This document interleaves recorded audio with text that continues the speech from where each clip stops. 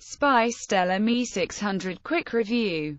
Price and comparison India-based vendors are on an aggressive rage on launching Android KitKat based budget smartphones and the latest one to enter this particular market segment is Spice Mobiles.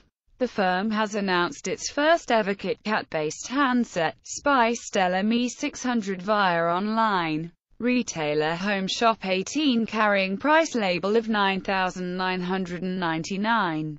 While there are many such handsets in the sub-Rs 10,000 price range, the Spice offering appears to be better with aspiring specifications. Here is a quick review on the handset to discuss where it stands, camera and internal storage there. Rear camera is an 8MP sensor combined with LED flash and this is similar to many other Android smartphones in this price range. It is accompanied by a 3MP front facer that makes the handset pretty impressive as it can assist in quality video chatting sessions and clicking gorgeous selfies. On the camera segment, the Spice offering appears to be an above-average performer with its camera set. The internal storage capacity is 4 GB which can be extended up to 32 GB with the help of an external memory card.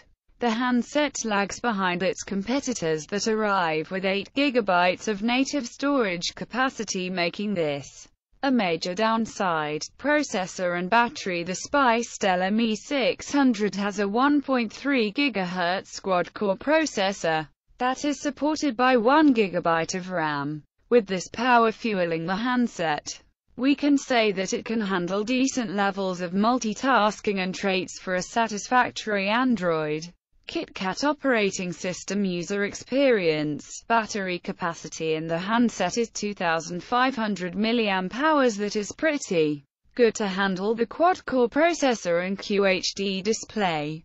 It is claimed by Spice that this battery can deliver up to 9.5 hours of talk time that is average display and features the size of the display is enormous at 6 inches that is pretty attractive to perform the basic tasks.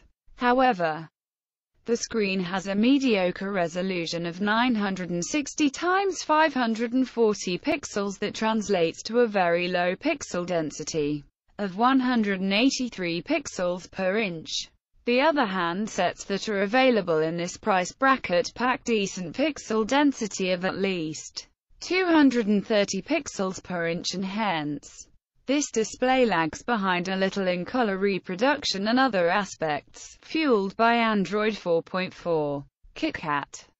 The handset arrives with dual SIM card functionality and other standard connectivity features such as 3G, Wi-Fi, Bluetooth and GPS with a GPS